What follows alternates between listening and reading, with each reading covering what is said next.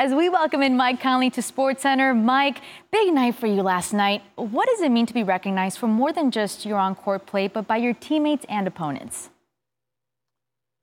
Um, you know, really, it's just truly an honor. Um, I can't say it enough uh, to be able to be basically voted in by your peers and your competitors, your teammates, guys that um, you know you sweat and bleed with on the floor. Uh, it means a lot, you know, because we're all great basketball players, but um, to really get to see another side of people um, and, see, and people recognize that the person you know behind the jersey is really cool. So um, just just uh, trying to continue to build off of it and um, and and continue. Hopefully, I'll win another one uh, in, in, the years to come. Oh yeah, you gotta you gotta manifest it to the universe. You will. You'll see.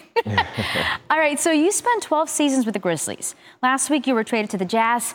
Now that you've had some time to get settled and process everything, how are you feeling about the move?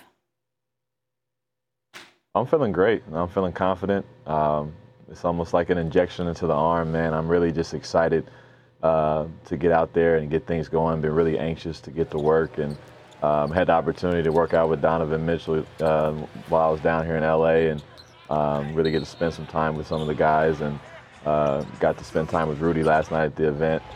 So it's really cool to, to you know be a part of such a great unit, uh, a great tight knit group of guys, uh, very family atmosphere. So I'm excited to get get out there and, uh, and get things rolling.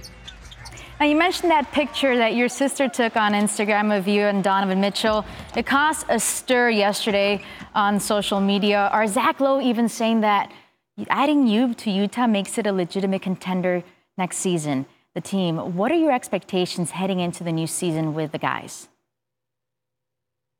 Well, I think it's just that. You know, we feel that we we will have a team that can that can contend, um, and I think that you know they were already a very, very good team, you know, without me coming in there. And uh, I'm just trying to come in and, and seamlessly make that transition, uh, be a guy that can come in and, and, and you know, with my leadership and um, all, you know, all the things in my experience that I've had uh, throughout my 12 seasons can try to help this team, you know, reach that next level. So um, I'm going to do whatever it takes, um, and I think that's what that's what's great about the situation. We've got a bunch of guys who are willing to do whatever it takes to win, and uh, great coaching staff behind that. So we're excited.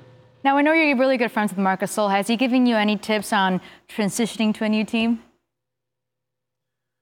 Um, you know, he texted me, as you know, right when I got traded and asked me how I was feeling.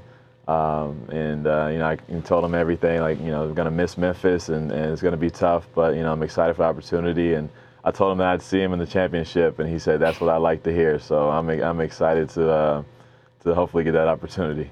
You're excited and Utah is excited. Thank you so much, Mike, for hanging out with us on SportsCenter. Good luck this coming season.